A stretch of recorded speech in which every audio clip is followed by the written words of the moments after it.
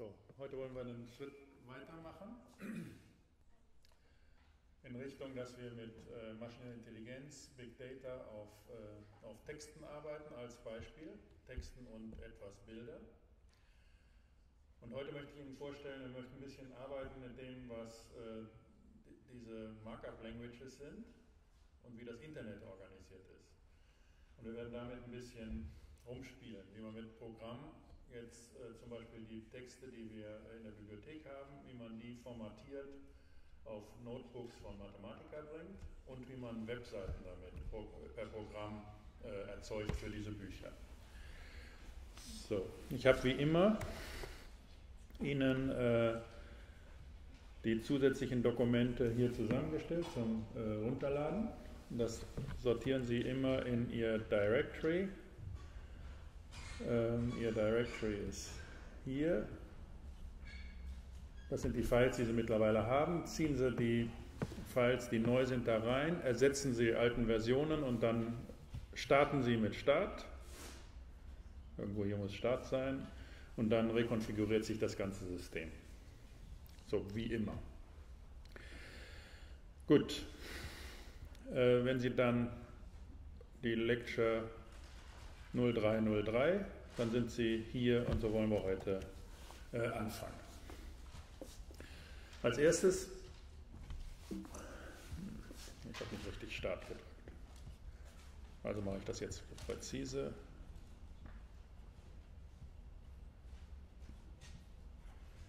Wo ist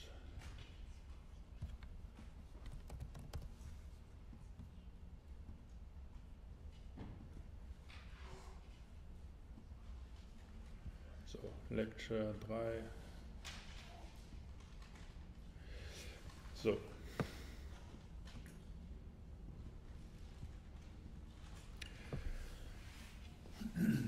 In der Entwicklung von, den, äh, von Computern, in den Phasen, das was wir äh, künstliche Intelligenz nennen, gibt es äh, drei wesentliche Phasen, die, die man unterscheiden kann.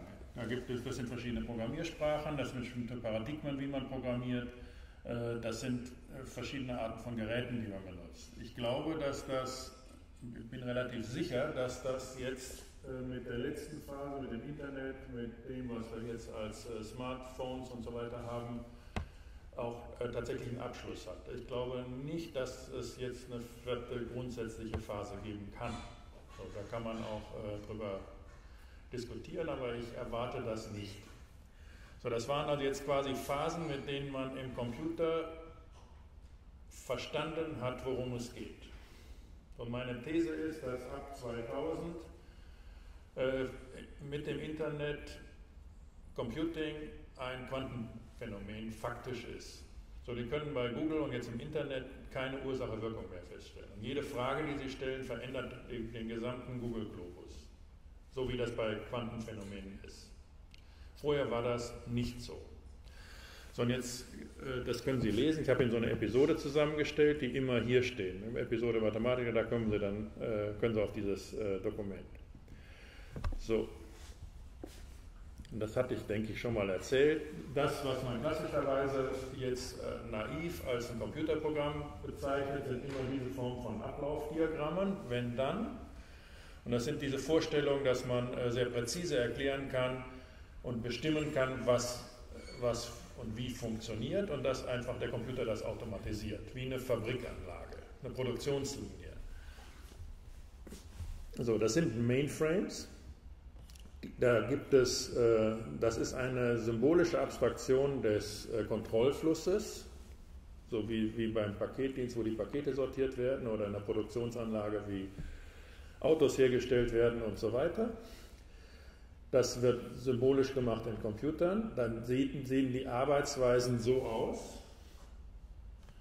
Die Interfaces sahen so aus. Das sehen Sie nach wie vor auf SAP, auf den Bankkonten und den Formularen für die Steuererklärung und so weiter. Das sind alles Paradigmen der Mainframes.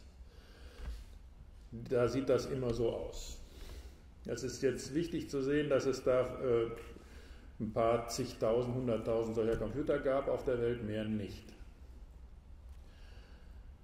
So, in dieser Art von Kontrolle. Es ist auch wichtig, zu, äh, immer wieder zu realisieren, dass das, was wir heute äh, als Building Information Models angucken, exakt diese Struktur hat und anderes nicht. Und dieses ist, wie man das jetzt hier an den, an den Computern sieht, wie man das an den, an den Bildschirmen sieht. Ich bin da geboren, also bin von 19, 1960 geboren.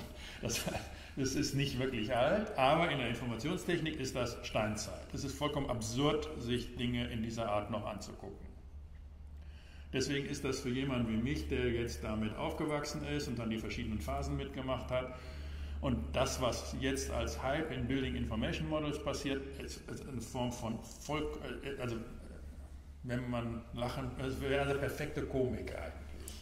Dass in dem Moment, wo es wirklich ernst wird, jetzt mit äh, dem Internet und dem XML, was ich Ihnen zeigen möchte, wo man eigentlich wirklich von Formenstruktur frei ist und trotzdem modellieren kann, sich auf die rudimenteste, äh, auf, auf, die, auf die auf die stringenteste und engste Art und Weise stranguliert in Schemen, die vollkommen, technisch vollkommen absurd sind. So, hier sind Form und Struktur weitgehend festgelegt. So, die nächste Phase sind die PCs. Und das sind normale, also diese prozeduralen Programmiersprachen, wie, äh, wie Fortran, so wie man das, wie man das so kennt, Pascal, äh, C und so weiter.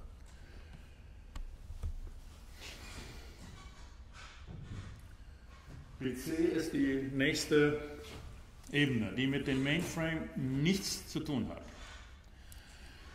Und das Coole an PCs, das sind Objekte und objektorientierte Programmiersprachen die in den 80er Jahren aufgekommen sind. Und da geht es darum, dass, sie die, äh, dass die äh, Struktur nicht äh, definiert ist.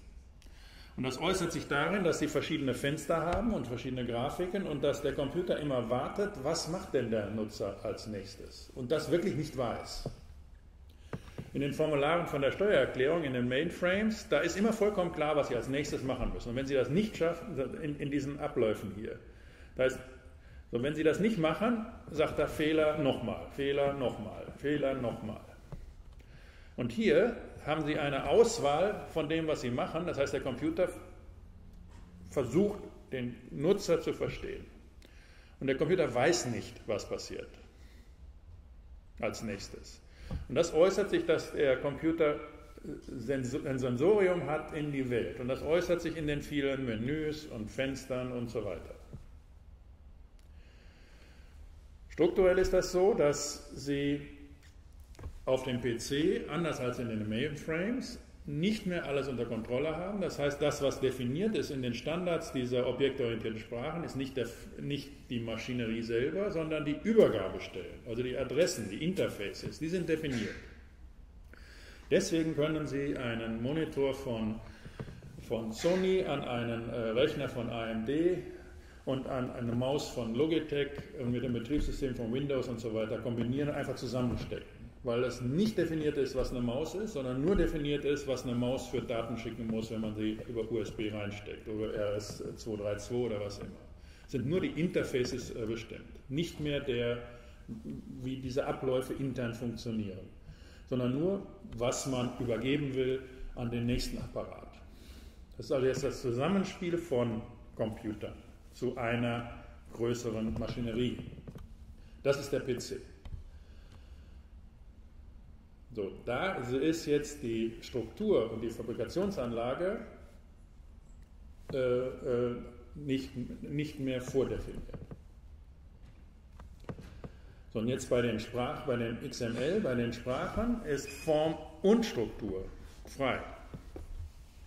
Und was Sie jetzt hier haben in den in den, äh, zum Beispiel so sehen die Programmierumgebungen aus, um ein, Mobil, um ein Mobiltelefon zu programmieren. Und da sehen Sie, dass das im Prinzip Comics sind. Sie machen Storyboards für Erzählungen. Und sie führen den Nutzer wieder durch die Umgebung, in eine, durch eine Lieblingswelt. So, was auf der einen Seite wieder sehr nah hier dran ist, nur dass das jetzt nicht einzelne kleine Maschinen sind, sondern dass das immer Nutzererlebnisse sind, die auf die Reihe gesetzt werden. Und um das zu machen, muss man Form und Struktur freisetzen. Und eine Markup Language transportiert immer eine bestimmte, und also was das bedeutet, welche Struktur das hat, und sie sagt, welche Form das in der Struktur hat. Immer Form, erstmal Struktur, Regeln für die Struktur, was ist gemein, und dann äh, sagt sie, äh, welche Form das hat, wie das artikuliert ist. Also immer sagt immer welche Sprache und dann äh, welcher Satz, welcher Ausdruck darin. Mit dem Effekt, dass man dass keine ja, immer diese persönlichen Erlebnisse halt produziert werden. Und es gibt keinen. Es, das spricht sich, das konkurrenziert. Also der Pfad hier, der konkurrenziert im Ergebnis mit dem. Und diese Applikation konkurrenziert mit einer anderen. Und es gibt kein weiteres Verständnis dafür, außer dass man quasi konkurrenziert für den Nutzer diesen Weg, meinen Weg zu gehen, um bestimmte ökonomische Prozesse und so weiter anzustoßen. So läuft das auf, den, äh, auf dem Internet und den äh, Mobiltelefonen. So mit dem Effekt, dass man als Nutzer auf der einen Seite jetzt geführt werden kann, auf der anderen Seite oder jetzt anfangen kann zu fragen. Es gibt keine Antworten mehr. Es gibt immer nur noch Werbung für bestimmte Dinge, Marketing für bestimmte Dinge. Und das kann man fragen, und dann kommen auch Dinge raus. Aber wenn man nicht fragen kann, läuft man blind. Weil es gibt keine Referenz mehr. Anders als in diesen Systemen, die, die äh, dann absolut präzise ein Ziel verfolgen und dann ist das vorher klar, was passiert und das ist alles definiert. Oder hier, dass die Struktur durchdefiniert ist. Hier ist alles offen. Und die wissen nicht, wo sie landen und sollen auch nicht wissen, wo sie landen. So, und das sind die Umgebungen, wie wir arbeiten da drin. Das sind Knöpfe, die nicht mehr Funktionen repräsentieren, wo sie bestimmten Abläufen folgen und dann wählen können. Das sind Dinge, die sagen, klick mich. Sind Versprechungen. Und sie finden auch keine Antworten, da gibt es keine Wahrheiten mehr dahinter. Und es gibt Versprechungen. Und wenn Sie bei diesen vielen Versprechungen keine Frage haben, kommt nichts raus. Und so ist das integriert in unser äh, Leben. Und ich glaube jetzt, dass wir, also erstens ist ja unglaublich, also so eine exponentielle, es gibt eine, äh, eine es werden im Moment jetzt zwei, drei Milliarden Elemente, also Mobilgeräte pro Jahr produziert.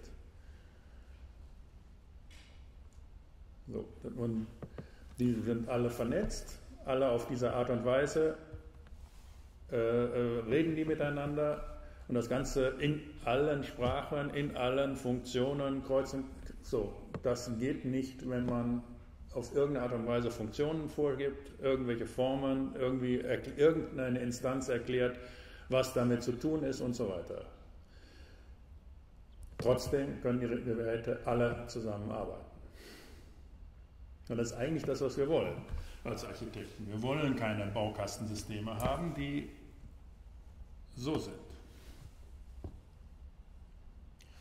Wir wollen auch keine bestimmt keine äh, präzisen oder präzisen Formen haben, die, so die, die, die dann auch sehr dominant erklären, wie man sich bewegen soll und so weiter. Wir wollen keine durchgängigen äh, Formen haben. Wir wollen keine durchgängigen Strukturen haben. Wir wollen keine durchgängigen Formen haben. Wir wollen gerne uns frei bewegen können. Wie wir das in den, äh, Post, äh, in den in postmodernen Architekturen, das gehört zur Postmoderne hier, in den postmodernen Strukturen kennen. Wir wollen nicht einfach gegängelt werden mit, du musst jetzt hier, sollst jetzt da und, und so weiter. Wir wollen uns frei bewegen in dieser Art. Und wir können das, wir können Strukturen bauen, Und wir können, das, wir können diese Dinge synchronisieren, koordinieren, wir können sie stabil halten, ohne dass Regeln oder Formen oder Strukturen und so weiter vordefiniert sind.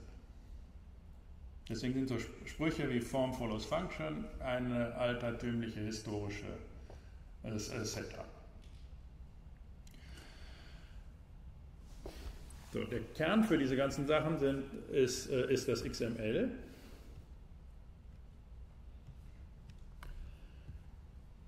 Und das zeige ich Ihnen jetzt, wie, man, wie, wie diese Dinge aussehen. So, gehen wir zurück. Es gibt ähm, so, Sie können das da genauer lesen, da habe ich das äh, präzise zusammengefasst. Ähm, ich habe äh, neue Tutorials jetzt äh, gemacht. Das eine ist für äh, die, äh, für die letzte äh, Lecture was wir bisher hatten, den, den Code, den wir lange durchdiskutiert haben. Hier habe ich Ihnen zusammengestellt alle Funktionen, die wir bisher hatten. Die Funktionen sehen immer so aus. Ähm, Sie haben hier die Dokumentation. Sie haben hier den eigentlichen Code. So, der Code sind immer einzelne Schritte, die kreiselförmige Bewegungen sind. Und diese Schritte hier werden wieder zusammengekreiselt und bezeichnet mit, äh, mit diesem Symbol, MTP Book Meta Write. Sie haben einen Parameter, der Parameter wird hier reingegeben, dann drehen Sie das wieder, dann gucken Sie das Ergebnis, drehen das hier, drehen das hier, um das und so weiter und dann kommt irgendetwas raus. So sind die Funktionen aufgebaut. Wenn ich das grau hinterlegt habe, ist das immer der Code, der äh, bei der Initialisierung ausgeführt wird und damit sind dann diese Funktionen bekannt. So, was wir jetzt hier haben ist, ich habe einfach alles zusammengestellt, was wir bisher äh, diskutiert haben. Jetzt gibt es hier, indem Sie einfach Fragezeichen, die, die Funktionen gehen alle mit MTP Book, fangen die an. Wenn Sie sagen MTP Book, dann der Joker und dann fragen, was es ist, kriegen Sie all die ganzen äh, Dokumentationen. Sie können dann jetzt hierher gehen und dann sehen Sie, äh, das ist, dann sehen Sie hier die Dokumentationen, wofür das gut ist und wie man es benutzt. So, hier ist jetzt, wie Sie frisch in der Version 3.0, so wie wir anfangen wollen, einmal die Bibliothek aufsetzen. Sie äh, setzen hier eine neue, Sie sagen, okay, alles sollen wir evaluieren. Und jetzt hier bei dem Desktop machen wir zum Beispiel eine neue Library, lib03 Create, dann wird das hier erzeugt. So, das ist der erste Schritt. Hier habe ich Metadaten, die Karteikarten, die Sie auch erstellen können, habe ich Ihnen welche zusammengestellt. Das sind die Daten ausführen und hier sind jetzt all die Kreiselbewegungen, die nötig sind, um, das, um diese Bibliothek in einen Zustand zu bringen, dass wir konsistent davon, damit arbeiten können. Das heißt, wenn Sie zum Beispiel jetzt eine Bibliothek jemandem Ihrer Freunde geben wollen, brauchen Sie nur diesen Code hier ihm per Mail schicken und dann ist der Rest automatisch hier mit den Maschinen, die ich Ihnen zusammenstelle. Und so geht das immer. Jetzt holt er sich im Internet die Sachen zusammen, er kuratiert den Text und, und macht die Dinge so, dass es äh, konsistent ist für die ganze Bibliothek. Und wir sehen jetzt, dass das hier irgendwie anfängt. Da sind jetzt schon die Texte drin. Metadaten kann man an, angucken. Hier sind schon die, äh, die 100 wichtigsten Worte von dem Text drin und das macht die Maschine jetzt alles im Hintergrund. Diese, äh, diese äh, äh, Symbole hier, die immer solche Mechanismen sind, die wir ja oft eine halbe Stunde, eine Stunde diskutiert haben, kreiseln das einfach ein, geben dem einen Namen und dann ist es da, ist es fertig. Wir brauchen nicht weiter darüber nachdenken. Das sind immer das, was man normalerweise als Menüpunkte in den, in den Softwaren hat. So, jetzt sind wir fertig und haben die Bibliothek äh, aufgebaut. Wenn Sie ein neues Buch da reinsetzen wollen, brauchen Sie nur hier die, das Metadatum rein, äh, die, die Karteikarte formulieren und äh, führen das hier aus und ist das neue Buch in der Bibliothek. Dann brauchen Sie nicht all die ganzen Schritte von den vorhergehenden Vorlesungen immer wieder neu äh, aufrufen und zusammensuchen. So geht es im Übrigen auch, dass Sie, wenn Sie Arbeitsschritte interessant finden oder sich das dann selber zusammenstellen, dann machen Sie das auf die gleiche Art und Weise. Copy-Paste, bringen das in eine Zelle und dann führt sich das genauso äh, mit, einem, mit einer Evaluation aus. Dann können Sie dem einen Namen geben und dann ist es nur noch ein Klick, äh, dann können Sie machen, was Sie wollen. So läuft das ganze Programmieren immer. Dass Sie im, im Detail die Dinge enorm präzise und, äh, ausdüfteln müssen, dann gibt es Schritte, Abfolgen und, und, und so weiter. Dann geben Sie dem einen Namen und äh, das Ding rotiert und macht das dann für die ganze Bibliothek, für tausende von Büchern und ist nicht faul an der Stelle. Das heißt, die Arbeit läuft immer darauf raus, dass Sie äh, sehr präzise im Detail arbeiten, an den ganz kleinen Einzelheiten. Sie hängen immer an den Fehlern weil wenn es funktioniert, ist es ja immer sofort getan. Das heißt, sie sind nicht damit beschäftigt, äh, sie, können nichts produzieren, weil das ist immer mit dem Computer. Also sie sind immer damit, das Produzieren geht immer eine tausendste Sekunde, dann ist immer alles fertig. Und sie sind immer Stunden und Tage und Wochen lang damit beschäftigt, Fehler zu suchen. Sie sind immer mit den Fehlern beschäftigt, nie mit den fertigen Sachen. Das ist ja immer in einer Sekunde fertig. Und wenn Sie das so sorgfältig dann aufgebaut haben, dann können Sie das expandieren auf, auf äh, fast unendlich viele äh, Einheiten. Also mit diesem Code jetzt, der sorgfältig aufgebaut ist, können Sie ohne Schwierigkeiten einfach auf Ihrem Computer 100.000 Bücher sortieren und bearbeiten, weil Sie es im Detail so genau gemacht haben. Das ist eine andere Arbeitsweise, wie Sie sie kennen von diesen händischen Arbeiten oder von der Produktion in der Fabrik und so weiter wo sie immer produzieren und dann am Ende vom Tag ein Erfolgserlebnis haben. Hier ist das etwas äh, schwieriger. Sie haben nur Erfolgserlebnisse, weil sie weniger Fehler machen, nicht weil sie produzieren. Die Produktion ist immer bei den Maschinen. Gut, das ist die äh, Zusammenfassung. Jetzt gehen wir an die, an die Formatierung. So, und dann können wir das äh, XML oder schauen, was eine Markup Language ist und wie man von Form und Struktur abstrahiert. So, wieder einfach eine eigene Zusammenstellung. Machen wir das hier mit 100 etwas größer, dass Sie es besser lesen können. So, das sind jetzt immer die, wir können äh, fragen, ob die Library richtig ist. Jetzt sagen wir MTP äh, Library und fragen, das ist unsere Library 3, da sitzen wir auf diesen Büchern, die wir gerade erzeugt haben. Jetzt fragen wir nach allen Namen. Wir können ein Menü machen, mit dem wir die, äh, die Namen selektieren. Jetzt sind wir bei Thomas Hobbes, dem äh, Leviathan. Äh, wir haben hier MTP Book äh, Selected, das ist das selektierte Buch. Und diese Mechanismen müssen funktionieren. Hume, David Hume. Wenn wir das jetzt hier dynamisch machen, dann kommt das, dann kommt das auch. Dann gibt es diesen Kurzschluss zwischen dem Menü und äh, dieser Funktion, die daran gekoppelt ist. Sobald sich das hier ändert, MTP äh, Book Selected sich ändert, wird diese Funktion auch wieder ausgeführt. So, wenn ich das jetzt hier wähle, und das funktioniert alles sauber. Und Sie sehen auch, dass das hier synchronisiert ist, diese Menüs. Gut, und dann konnten wir an den Text kommen und das, den wollen wir jetzt äh, äh, formatieren mit String Take. Wir kommen immer hier in die Dokumentationen von äh, Mathematica, String Take, Text und dann sagen wir von 1000 bis 2000 und dann kriegen wir hier äh, Text.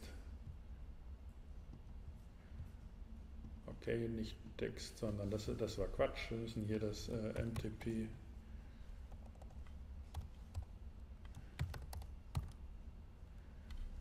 book text from book selected.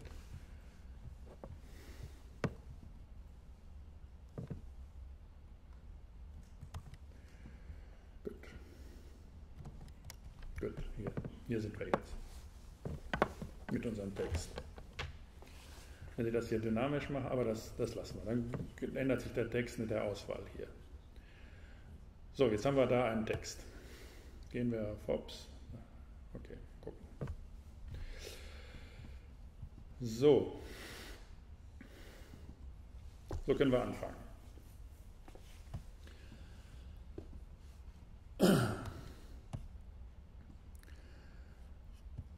Jetzt haben wir hier eine Textzelle. Das sehen wir hier, Text. So, wir können jetzt hier diese Textzelle wie in einem Texteditor, das haben wir am Anfang erklärt, äh, formatieren. Wir können sie äh, äh, fett machen. Wir können die Größe von der Zelle verändern. 18. So, das, was wir haben, ist hier, die, äh, das ist der Code. Wir gehen hier auf Cell, Show Expression, hier haben Sie den Code. Gehen Sie zurück. So, was Sie, was jetzt, äh, was Sie hier immer sehen, ist ein Rendering von dem Code, sodass man lesen kann in einer bestimmten Pragmatik. Der hinterliegende Code ist das hier. So, das ist, den können Sie kopieren. Gehen wir zurück ins Rendering. Das machen Sie immer, indem Sie hier auf die Zelle gehen. Über äh, äh, Zelle, hier Show Expression und Hide Expression. Jetzt hatten wir es kopiert, jetzt haben wir hier eine Zelle. Die Zelle fängt hier an, so können Sie das analysieren. Sie können auch hier die Dokumentationen finden. Die fängt hier an und hört hier auf. Das, was Sie hier hinten haben, ist, dass, wir, dass hier ein äh, Protokoll ist, wann es erzeugt worden ist und wann sie geändert worden ist, die Zelle. Das können Sie, das gehört zur Maschine, das brauchen wir jetzt nicht, das können Sie weglassen. Das macht sie dann automatisch wieder. Und es gibt hier eine eindeutige Nummer, damit man Zellen nicht vertauscht. So, auch die wird automatisch vom System verwaltet und da kommt man hin. So, das ist eigentlich unser Code, den, der uns jetzt interessiert. Und Sie sehen, dass es zwei Elemente hat. Sie haben hier das erste Element, das ist Text Data, das geht von hier bis hier. Das ist die Form. Und das hier sagt, es soll, ein, soll als Text angezeigt werden und nicht als Grafik oder irgendwas. So, es wird als Text angezeigt und das ist die Struktur. So, wir sagen jetzt, was immer hier steht, soll als Text angezeigt werden, soll die Struktur eines Textes haben, eines lesbaren Textes. So, und mehr haben diese Zellen nicht. Und das ist das, was konstituierend ist für, äh, für das Internet. Sie sagen immer, welche Form, welche Struktur. Mehr muss man gar nicht tun. Und beides ist variabel. Können Sie bestimmen, wie Sie wollen. Das heißt, wenn Sie die Struktur nicht kennen, können Sie mit der Form wenig anfangen. Wenn Sie, die, wenn Sie die Struktur kennen und keine Form haben, haben Sie auch nichts. Das heißt, Sie müssen sich immer erstmal etwas von, etwas von der Struktur verstehen. Sie brauchen nicht alles von der Struktur verstehen, etwas von der Struktur verstehen. Und dann kommen Sie über die Form zu bestimmten Inhalten. Das heißt, Sie müssen Fragen stellen lernen, um, hier, um aus dem etwas zu machen. Sie müssen es kontextualisieren und so weiter. Und mehr ist es nicht, was man braucht. So, Sie liefern das Formular und das, wie das Formular ausgefüllt ist. Das ist alles. Und wir können nachher bei HTML das Gleiche so beobachten, was ein Dialekt von, ein spezifischer Dialekt von äh, XML ist. HTML sagt einfach nur, es sind im XML eine Reihe von Strukturen vordefiniert. In dieser allgemeinen Form. So, das sind jetzt Zellen. Sagen wir, Cell 01 ist das.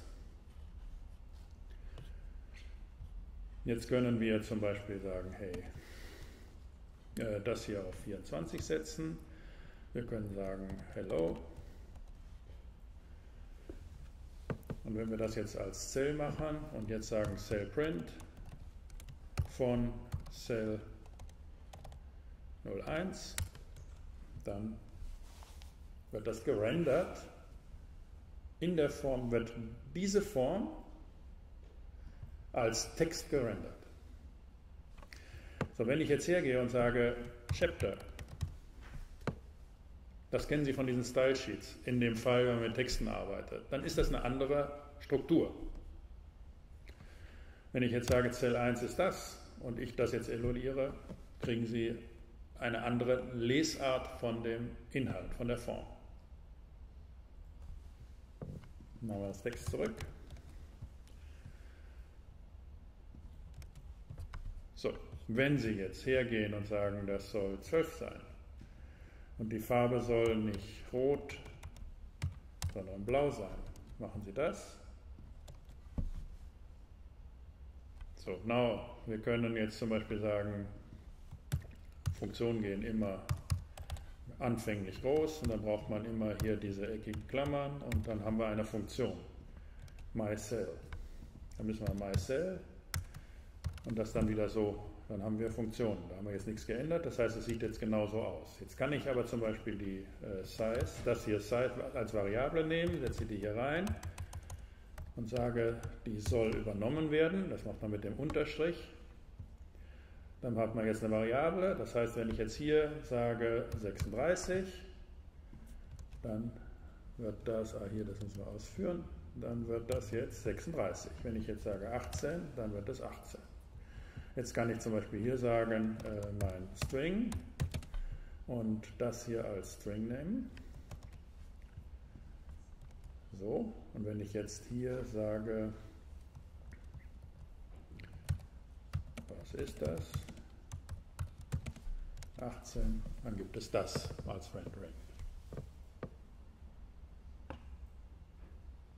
So, ich kann auch die Struktur in, äh, in, in die Variable setzen. Da sagen wir hier Struktur.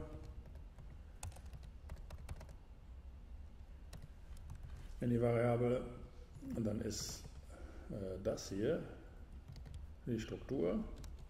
Und wenn ich jetzt hier sage der String, die Size und jetzt hier sage, äh, folgt dann zum Beispiel Title,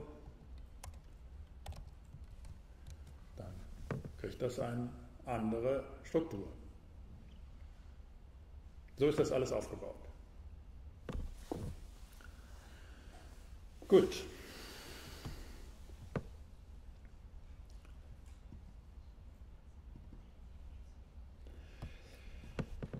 Jetzt ist das hier immer etwas unübersichtlich und um das jetzt in dieser Art in ein äh, gestreamlinedes, pragmatisches System reinzubringen, habe ich Ihnen hier eine Reihe von Funktionen zusammengestellt. Die fangen immer an, maschinelles Denken und Programmieren, Format und dann Text, maschinelles Dingen, äh, MTP, F Bold, F Italic. So, jetzt können wir zum Beispiel hergehen und sagen, MTP F, da sehen wir dann immer die Menüauswahl von allen Symbolen, die ich Ihnen dann anbiete. Und jetzt sagen wir zum Beispiel Bold von, oder wir können das auch fragen, was ist das? Dann macht man immer ein Fragezeichen davor, dann steht da drin, wie das geht. Habe ich keine Dokumentation, dann wird der Code gezeigt. So, aber was ich jetzt hier sehe, ist, ich brauche eine Variable. So, und dann sagen wir jetzt einfach hier, hey, So, und was er jetzt macht, ist eine Stylebox Hey Font White Bold. Es macht er exakt das, was wir hier haben. Da steht hier Hey und dann setzt er das auf Bold, um das in ein bestimmtes Format zu bringen. So, er wrappt jetzt meinen Text, wie das hier auch ist, das ist der Text, und gibt dem verschiedene Attribute, Formatierungsattribute. So, das haben wir jetzt hier einfach so gemacht, damit es einfach ist. Sagen wir einfach, das soll bold sein. Jetzt können wir sagen mtpf italic von dem und das soll, äh, ja, von dem, das müsste auch reichen. Und dann kommt jetzt Stylebox, von Stylebox und so weiter italic. Wir könnten das jetzt auch äh, kürzer noch machen. Das sind immer, äh, das sind jetzt Infix und das andere sind die Fullform. So, das kommt jetzt aufs Gleiche. MTV Italic, Form, Bold, From, Hey. So, damit kann man das äh, einfacher lesen. Um das jetzt, diese Formatierung jetzt in diese Zelle zu bringen, habe ich Ihnen diese Funktion gemacht. MTP äh, F Text von dem. Und jetzt haben Sie den Text. Ah ne, den müssen wir hier. Und den braucht äh, Struktur als Text. Dann gibt es jetzt Cell, Text Data und so weiter. Exakt das, was hier oben äh, aufgebaut ist, was wir, was wir gesehen haben mit, äh, mit unserer Formatierung. Exakt das gleiche jetzt erzeugt. Und jetzt ist es relativ leicht zu lesen. Wir haben jetzt hier, äh, wir haben einen Text, der heißt Hey, der ist bold und italic und als Text. Übersetzt in die Mathematikerform. Wenn wir jetzt Cell Print darauf machen, davon, dann steht da Hey in bold und italic. So, wenn wir das jetzt machen auf unseren Text hier von äh, Hobbes, dann können wir, brauchen wir nur das hier ersetzen und sagen, aber unser Text und dann ist der Hobbes so dargestellt. Wenn wir den normal darstellen wollen, ohne das, geben wir hier jetzt den Text formatiert von Thomas Hobbes. So, das ist jetzt straightforward. Machen wir das jetzt für, die, für das Kapitel, für die Übersicht. Da sagen wir hier, und da sagen wir nicht Text, sondern äh, MTP äh, Book Selected. Das ist der Name von dem Buch und das soll jetzt nicht Text sein, sondern das soll ein Chapter sein. Dann kriegen wir eine Überschrift, Thomas Hobbes und das.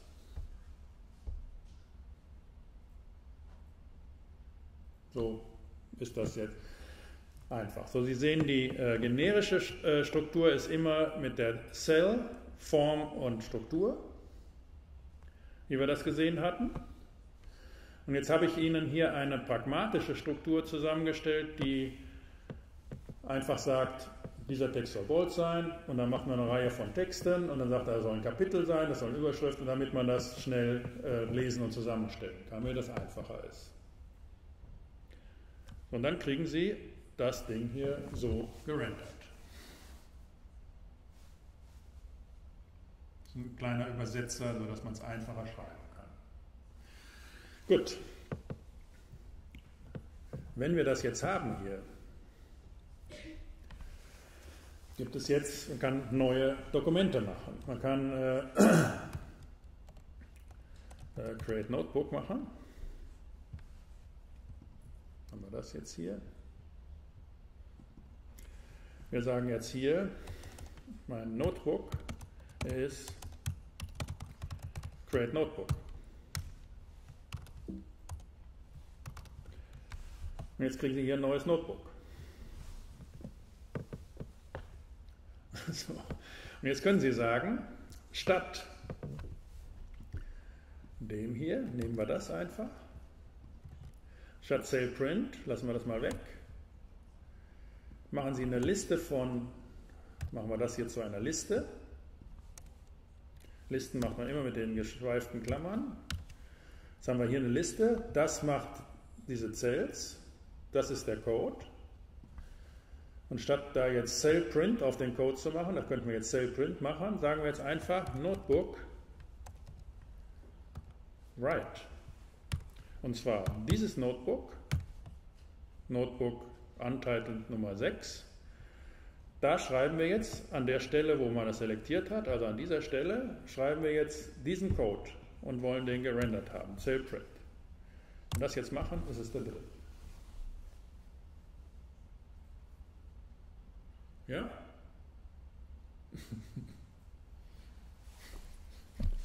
so, und jetzt natürlich, jetzt, jetzt können wir natürlich den ganzen Text da reinmachen und, und so weiter. So, das ist die Spielerei. Bam, bam.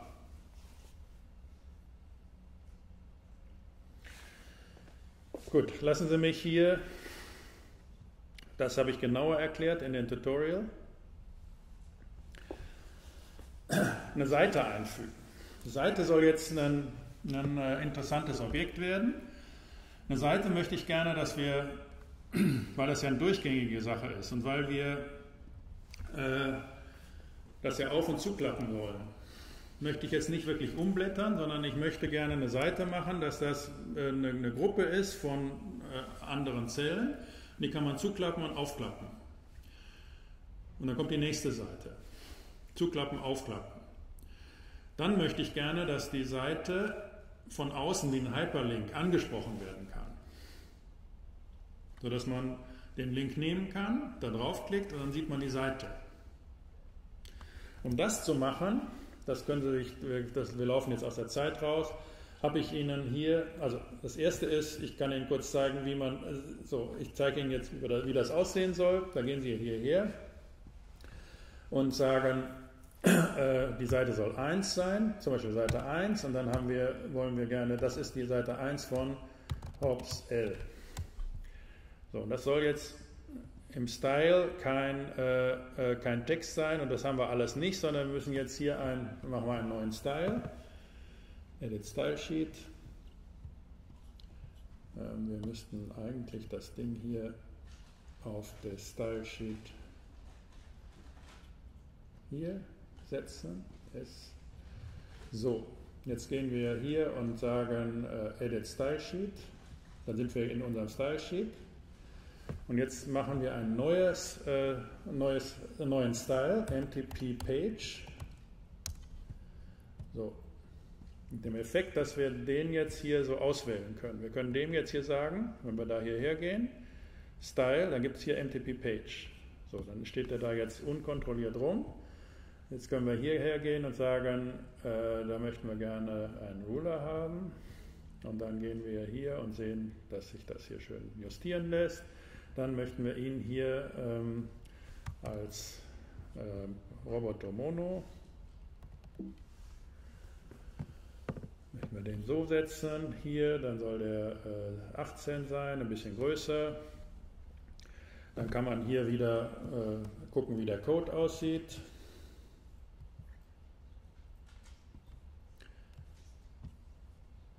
Dann sehen Sie, das ist etwas blöde mit dem, mit dem Ruler hier, dass das nicht gerastert wird. Dann können Sie sagen, 105 ist gut, dann ist das präzise. Gehen zurück, damit ist man zufrieden. Speichern das. MTP Style. Ja.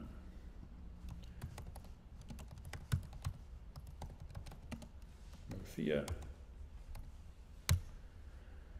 So, und dieses hier wollen wir äh, größer machen. Und jetzt wird das nicht geerbt, so, also 24 und Bold. So, jetzt gehen Sie hierher und gucken sich den Code an und dann fangen wir an, äh, Variablen zu machen. Man kann bei den Zellen Tags machen, das heißt, dann kann man die von außen ansprechen, wie mit einer URL also über Internet oder von beliebig kreuz und quer sogar über Internet ansprechen in die Dokumente. Das sind äh, Celltext. So, jetzt gehen wir hierher und sagen äh, add remove Celltext. Und dann sagen wir zum Beispiel, das soll Seite 1 von Hobbes L sein. So kann man die Celltext hier sehen. Die kann man unsichtbar machen. So, wenn ich das jetzt hier angucke, sieht man, dass, ich kann Ihnen das auch größer machen, dass der Code jetzt hier unten einen, einen Attribut hat, Celltext, und damit ist er ansprechbar. Damit kann man das finden auf Klick. So, all diese Dinge habe ich gemacht und dann Ihnen zusammengestellt in so einer Funktion, die hier dummerweise jetzt hier so aussieht. Wenn man das jetzt anwendet, haben Sie dieses Ergebnis. Machen wir mal die Seite weg.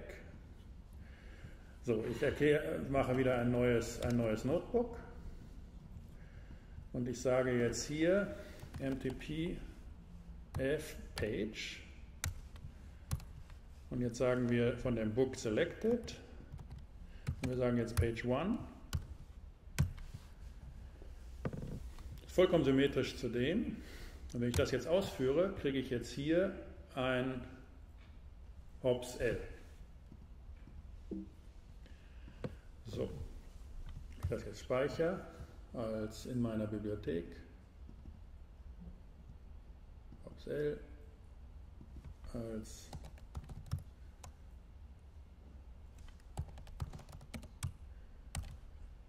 Notebook, dann ist das jetzt hier,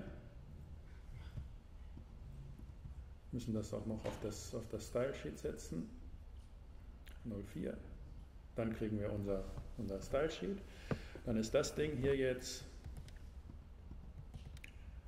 ein Link auf dieses Ding. Wenn ich das jetzt wegmache, Save, und ich gehe jetzt hierher, kommt er mit der Seite. So, was jetzt heißt, wenn ich anfange, hier jetzt zu arbeiten, ich habe Ihnen das jetzt in einer Funktion zusammengefasst.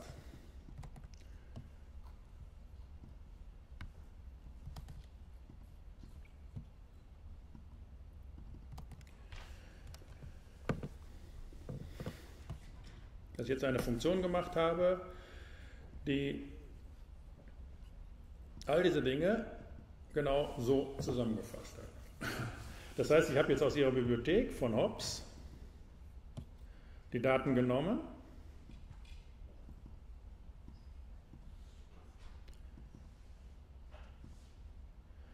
Es gibt jetzt hier ein Mathematikerdokument, parallel zu Ihren Meta und parallel zu Ihrem Text.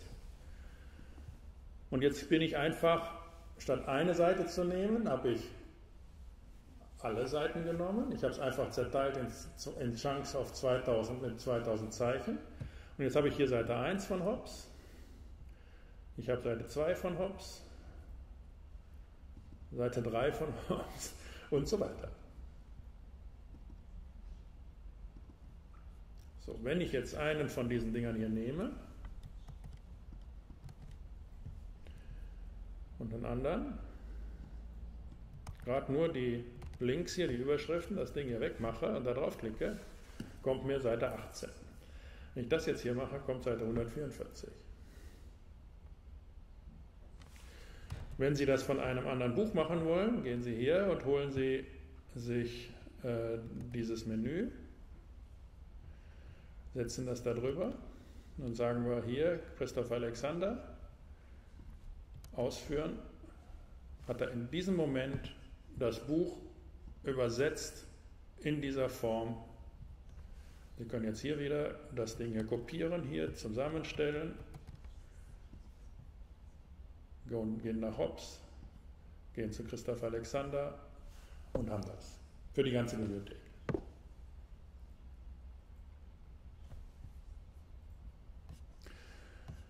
So, das, was ich Ihnen zeigen wollte in der, in der ersten Hälfte, jetzt machen wir ein paar Minuten Pause und äh, dann zeige ich Ihnen, dass es im Internet auf die exakt die gleiche Art und Weise geht.